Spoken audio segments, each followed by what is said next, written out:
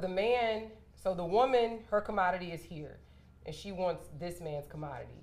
But the man is saying, but that commodity is low on my list. I Mm-hmm. need you to also be loving. I need you to also shut the fuck up. I also need you to know, know how to cook. I also need you to agree to have children. I also need you to suck dick on on on on Every on, day. on, on, on demand. You know, on On, oh, demand. Oh, I also on. Oh, I also need you to, you know, to, to, to, to agree to let my mama move in the house when she gets sick in her old age. So it's like that one thing that that woman thinks that's so important to that man is in fact not as important as she thinks that it is.